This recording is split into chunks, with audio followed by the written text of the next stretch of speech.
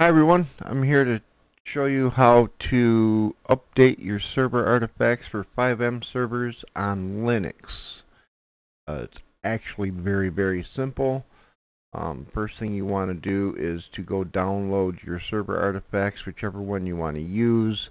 Um, for my purposes, I plan on using 4960.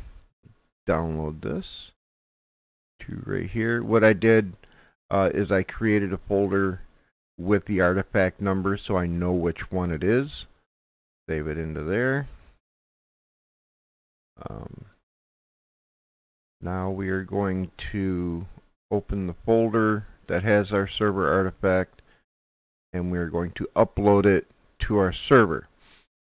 With a Linux server, I highly recommend using WinSCP uh, as it, it's better for SSH uploading um, or secure FTP uploading.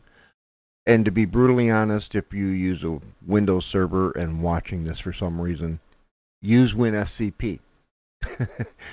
anyway, so where we want to upload it to is going to be where your server folder exists. So, for example, my server folder is here so I want the file to be here. Actually, let me delete that one. Um, so this is like where my resources are and all that. Uh, this is where my Alpine folder is, which is the server. Uh, my run.sh, which is to start the server. So I want it to exist here. So this is where I'll upload it.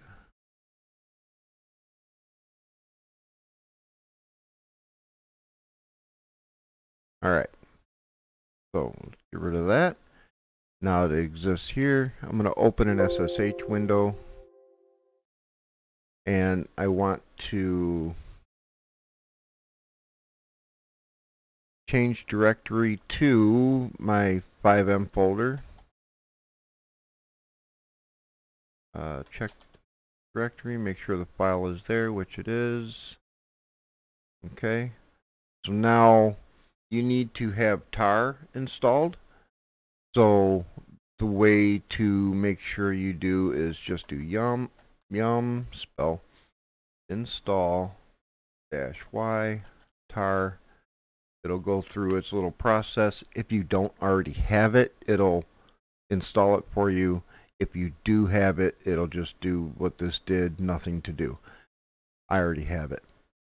So now I'm going to install my update, which is really simple. Just do tar uh, minus xbf, the file name, which is fx dot tar dot xz.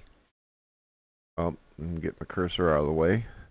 Do minus capital C and then the path you want it to go to. The easiest way to get that is go into here you want it to go into your server directory, which is where your Alpine folder already exists or your run.sh exists. This is where you want to go to. So just go up here the address bar, copy, come down here, paste it, hit enter. You're done. Your server is now updated. Clear your server cache, restart your server, you're now on Artifact 4960. Hope that helped anyone that wasn't sure how to do it. Have a good day.